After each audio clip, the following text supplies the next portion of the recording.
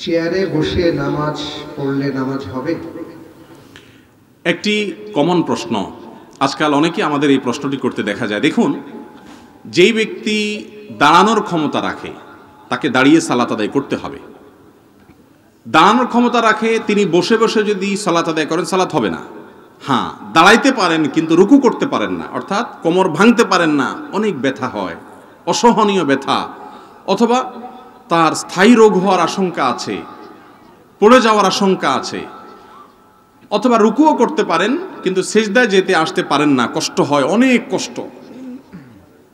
তাহলে সেক্ষেত্রে সেই ব্যক্তি দাঁড়াতে পারলে দাঁড়াবেন, রুকুর সময় সে ইয়াতে বসে, চেয়ারে বসে ইশারায় রুকু করে সালাত আদায় করতে পারবেন। আর যদি রুকুও করতে পারেন স্বাভাবিকভাবে, তাহলে দাঁড়াইতেও হবে, রুকুও করতে হবে, সেজদা যাওয়ার সময় চেয়ারে বসে ইশারায় সেজদা করলে সালাত আদায় হবে। একচেটিয়া চেয়ারে বসে নামাজ হবে না, এই ফতোয়াও সঠিক না। আবার একটু কোমর ব্যথা হইলেই চেয়ারে বসে নামাজ শুরু করে দেওয়া সেটাও সঠিক না। আজকাল মসজিদগুলোতে যে পরিমাণ চেয়ার পাওয়া যায়, মসজিদকে এখন বাইতুল কুরসি মনে হয়।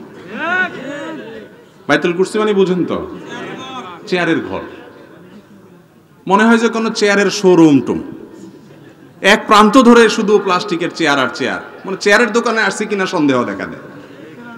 দশ বছর, বিশ বছর আগেও তো এত কমর ব্যথার রোগী দেশে ছিল না। কিন্তু এখন কোথেকে এত আসছে? সারা দুনিয়া দাবড়ায় বেড়ায়, লাফায় লাফায়, হাঁটতে হাঁটতে মসজিদে আসছে, মসজিদে এসে ধপাস করে বসে চেয়ারে নামাজ পড়তেছে। একটু কোমর ব্যথা হয়েছে, বলো যে শরীরটা খারাপ, চেয়ারে বসে নামাজ পড়া শুরু করছে। এই ফ্যাশন করে সালাত আদায় করলে সেই সালাত হবে না।